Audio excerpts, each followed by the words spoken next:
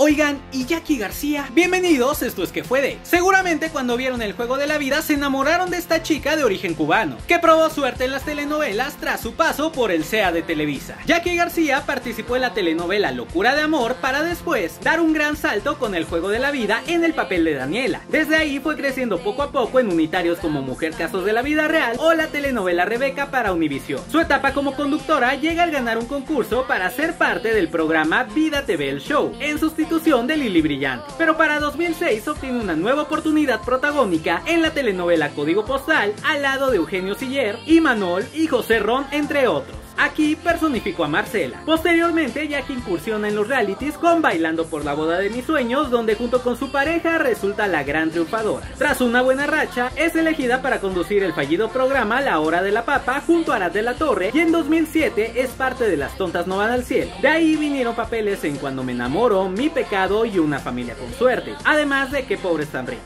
¿Y qué pasó después? En 2013, Jackie decide alejarse del medio para casarse y formar una familia. Sin años después se divorcia y emigra a Miami, donde permanece hasta la fecha. Hace apenas dos años concedió una entrevista en donde comentó que ha trabajado de secretaria y que estaba por graduarse de la universidad, siendo esta su vida hasta ahora y con casi 50 años de edad, Jackie no descarta volver a actuar algún día. Sin embargo, no es su prioridad. Y dime, ¿tú qué recuerdos tienes de esta bella actriz? Yo soy Memo Gutiérrez Adiós.